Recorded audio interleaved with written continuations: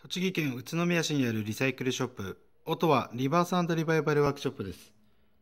宇都宮で一番おしゃれなリサイクルショップです。今回、えーご紹介する商品ですけれども、こちらの、えー白いミルクガラス製の、えーキャンドルホルダーになります。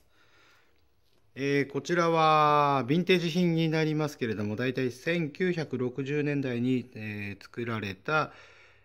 えーキャンドルホルダーになります。えーメーカーの方がエイボンの商品ですけれども、アメリカの化粧品メーカーの、えー製品でございます。ちょっと見づらいですが、エイボンと刻印があるんですけれども、えーキャンドルホルダーで、まあ、もともとこの中にですね、専用の、えーキャンドルが、えーあったんですけれども、ちょっと今は使用してない、ような形なんですが、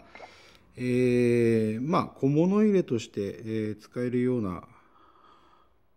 とても可愛らしい器です。はい。このように、えっ、と、まあ、ヴィンテージ品、まあ、状態もまずまずと